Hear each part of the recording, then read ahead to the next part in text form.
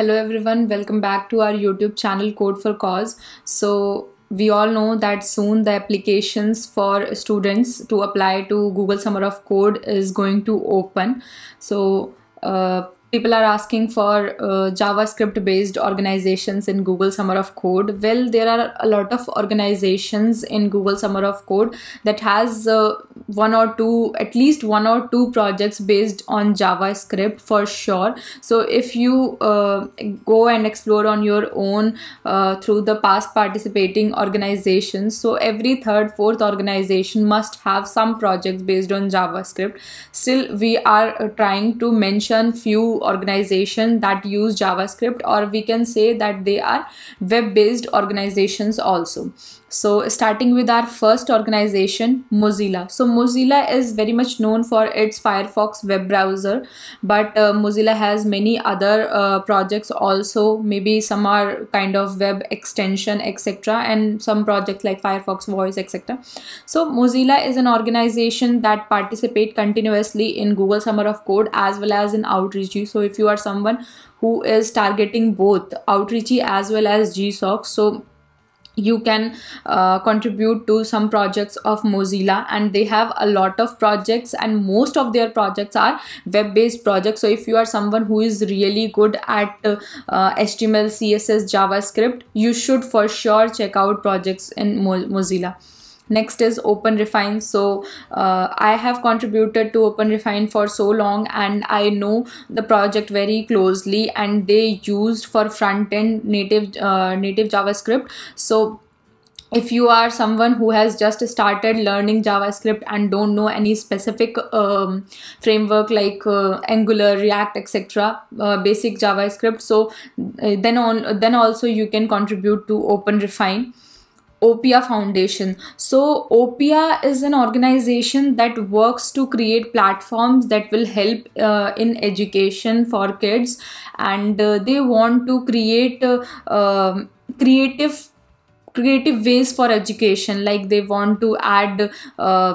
3d uh, modeling etc games in uh, in the platforms that are used for um, education. They are also trying to uh, uh, inculcate it uh, the simulations etc so oppia is that kind of organization. So we should definitely try to contribute to these kind of organizations where our ideology matches with that uh, organization Open Roberta. So if you are someone from ECE background, electrical background and interested in robotics etc. So Open Roberta uh, provides an IDE uh, that is used for programming for robotics and um, robotics creation of small bo bots etc and many other games also oh, so open roberta works in that field they also have uh, projects based on uh, you can say vanilla js FrameNet. So FrameNet is an organization if you have worked with natural language processing, NLP, NLTK, etc. So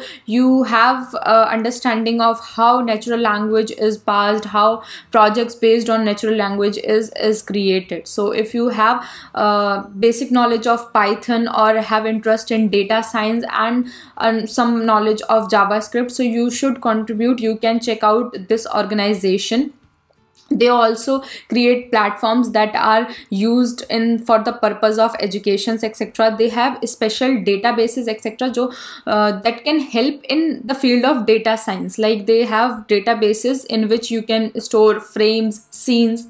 So yes uh, you can uh, check out framenet CiviCRM. So CiviCRM, it is an open source CRM platform, like a platform for managing customer uh, customer relationship management. So they provide functionalities like how you can manage your uh, donations, email, messaging, etc., and uh, other things. Webpack so if you are a web developer, if you are working in the field of web, you must have used Webpack if you are a Node.js uh, developer or something. So you must have known about Webpack. It is a module bundler. So now Webpack is being uh, extensively used for making things reliable more scalable. You can make changes easily into the uh, web application without uh, uh, without like uh, engaging with the whole project. You can just uh, make changes to specific parts also.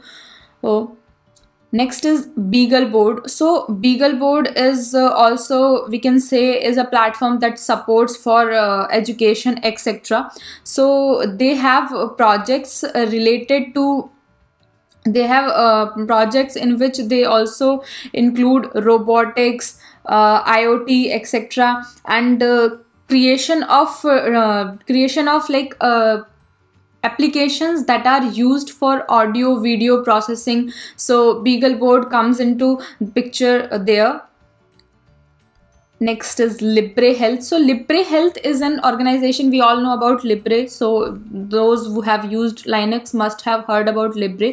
So libre health is a uh, you can say a newer project than libreoffice etc so they work in the field of sciences and medicine biomedical uh, sciences. So if you are someone from biotechnology and uh, or even if you are not because it doesn't require a much knowledge of medical sciences they are creating platforms so that the healthcare can be uh, made available easily all around the world so their target their uh, uh, their end goal is that so you can contribute to libre Joplin. Uh, you must all have used Google Keep. So to list your to do uh, your, your list your work, pending works or task you have to complete, or a note taking application like if you are in a meeting. So how you will need uh, how will you note down MOM when in an efficient manner so it provides uh, functionality similar to keep uh, it is open source and uh, uh, it uh, it is it is available for multiple platforms and uh, not only just like to do applications it has many more uh, many more functionalities also. So if you are like a react uh, develop uh, react js developer or react native so it is also for the android developers also. They have projects based in android so you can check out this organization.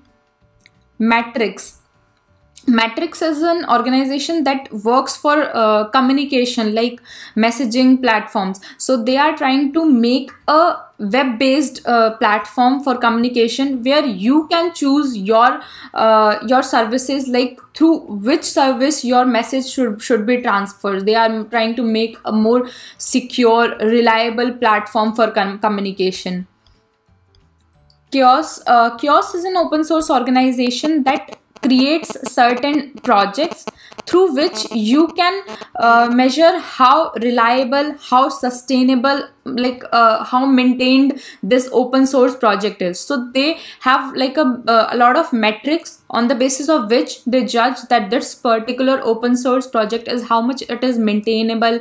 And uh, if it, that is very much maintained this means that that, that is very much reliable also. So they check the sustainability also. So CHAOSS is a project that assess other uh, open uh, that that is used to assess other open source projects so that was the last in our list but i'm again saying that for javascript you should not need to worry. There are a lot of organizations that has few projects based on javascript. If not on plain or native javascript then uh, based on some specific uh, modules like react angular electron.js etc so you uh, you should never worry. If you are uh, interested in javascript you will get plenty of organizations in google summer of code so go and uh, explore on your own. Uh, thank you for watching